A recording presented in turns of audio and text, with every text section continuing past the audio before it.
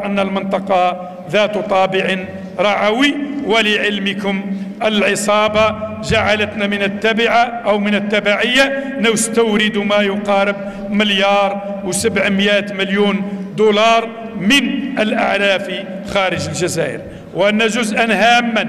من المناطق السهبية يمكن أن تكون مواقع لإنتاج وتنويع الأعلاف الخضراء ولذلك نشجع إنشاء وتخصيص مساحات زراعية مسقية خاصة بإنتاج الأعلاف الخضراء بهدف زيادة مردودية والتقليص من استهلاك الأعلاف الجافة. أيها الحضور الكريم ولم لا ومع ضيق مساحة وشساعة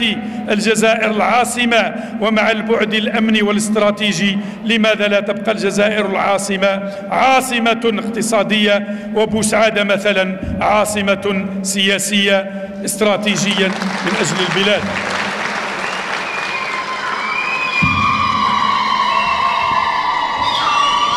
كما سجلت ولاية المسيلة أيضا إنتاجا غير مسبوق في الخضروات غير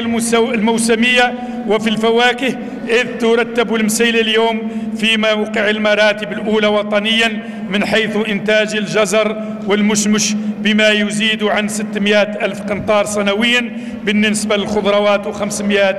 قنطار ألف قنطار للفواكه. قد يستغرب أحدا ونحن في الحملة الانتخابية أن يقول لماذا تذكر حركة البناء الوطني مثل هذه الأرقام؟ نقول لأن الإنتاج يبقى مكدسا عند الفلاحين ويرمى للأغنام ويرمى اعلافا للبقر ولا تستفيد منه بقية الوطن لأن بكل أسف الدولة والحكومة والسلطة السابقة في عصر العصابة لم تجهز أماكن للتخزين للبطاطا للجزر للقمح للشعير وغيرها حتى نلفت أعضاء البرلمان عندما يفوز من أبناء حركة البناء الوطني ومن غيرهم من أعضاء المجلس الشعبي الوطني المقبل بأنهم يجب أن يجعلوا في مقدمة أولوياتهم مخازن ومراكز التبريد لهذه الخضر وهذه الفواكه